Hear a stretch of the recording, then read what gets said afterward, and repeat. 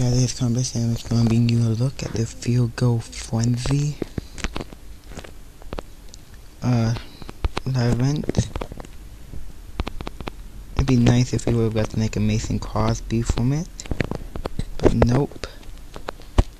All we get is a BCA pack. So, not really good. But the BCA pack is pretty good because if it's this BCA pack, then this one you can only buy with Madden Cash. But it's not a really good pack. And you just have to like kick it through the loan. It's pretty easy. I got like 3,000 points my fourth time beating it. I'm not gonna show you it because then it's gonna be too laggy. But this is gonna be a sign out piece.